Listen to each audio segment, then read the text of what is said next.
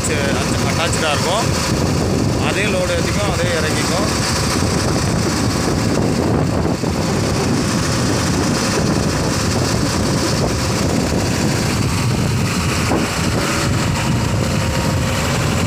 இது வந்து ஒரு பாரத் பென்ஸு பன்னெண்டு சக்கர லாரியில் வந்து அட்டாச் பண்ணியிருக்குங்க கிரேனு அதுக்கு ஒரு ஆப்ரேட்டர் இருப்பாப்புல அவர் என் கூட வருவா வருவா அப்படி இப்போ நான் ஏற்றிட்டு வந்திருக்கிறது என்னென்னா இதுக்கு பேர் வந்து கெர்சோன்னு சொல்லுவாங்க.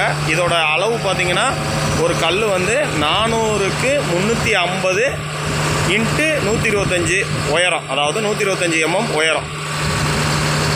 ஆமாங்க. இது ஒரு பண்டலோட வெயிட் வந்துங்க ஒரு டன்னு பக்கம் வருங்க. நான் வந்து இருபத்தி மூணு பண்டல் ஏற்றிட்டு வந்திருக்கேங்க. இது நான் எங்கே இறக்குறது எந்த இடத்துல இறக்கிட்டு இருக்கேன்னா பாருங்கள் ஒரு ரியல் எஸ்டேட்டுக்கு கொண்டு வந்திருக்கேங்க லோடு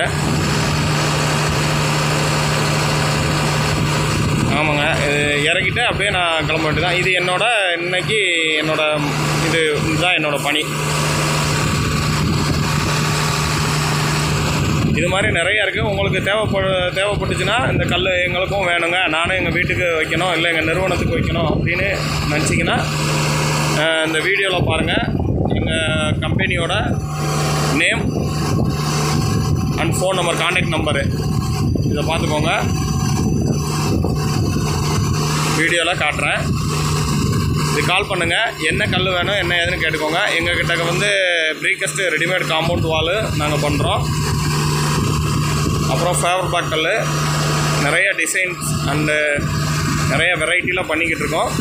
உங்களுக்கு வேணும்னா இந்த இருக்குது காண்டாக்ட் நம்பர் எங்கள் ஓனரோட நம்பர் காண்டாக்ட் பண்ணி நீங்கள் பேசுனீங்கன்னா உங்களுக்கு கரெக்டான ரெஸ்பான்ஸ் பண்ணுவாங்க.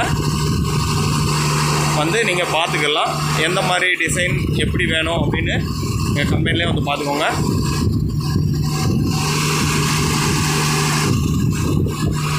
ஓகே ஃப்ரெண்ட்ஸ் இன்றைக்கான வீடியோ அவ்வளோதான் அடுத்த லோடு எங்கே ஏற்றிட்டு போகிறேன் என்ன லோடு ஏற்றுறேன்னு அடுத்த வீடியோவில் போடுறேன். தேங்க்யூ